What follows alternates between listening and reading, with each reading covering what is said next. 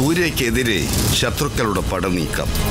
നടന്നു കയറുന്നത് കെണിയിലേക്കാണെന്ന് അവസാന നിമിഷം വരെ അവൾ അറിയാൻ പാടില്ല. ഋഷിയുടെ സൂര്യയോടുള്ള അടുപ്പത്തിൽ പ്രതികരിച്ച മിത്ര.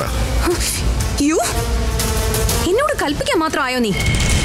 ആവശ്യത്തിനും അനാവശ്യത്തിനും എല്ലാവർക്കും കൊട്ടി രസിക്കാനുള്ള ചെണ്ടയാണ് സൂര്യകൈമൾ എന്നൊരു ധാരണ മാമിനുണ്ടെങ്കിൽ ദയവ് ചെയ്ത് അതൊന്ന് തിരുത്തണം മാം. മോഹന്റെ നീക്കങ്ങളിൽ പ്രതിഷേധിക്കാനാകാതെ നിസ്സഹായനായി ശേഖരൻ. ഞാൻ ഏതായാലും ആ വഴിക്ക് പോവാം. ബസ് സ്റ്റാൻഡിലോ റെയിൽവേ സ്റ്റേഷനോ എവിടെയായാലും ഞാൻ വിടാം. ഋഷി അറിയാതെ മിത്രയുമായുള്ള അവന്റെ വിവാഹ നിശ്ചയത്തിന് ഒരുക്കങ്ങൾ തുടങ്ങി തുടങ്ങിവെച്ച് റാണിയമ്മ. എൻഗേജ്മെന്റ് ഫിക്സ് ചെയ്യാൻ പോവാണെന്ന് പറഞ്ഞപ്പോ ആദ്യ യെസ് പറഞ്ഞത് അവന്. പ്രതിസന്ധികൾക്കിടയിലും തളരാതെ പൊരുതി മുന്നേറുന്ന സൂര്യ.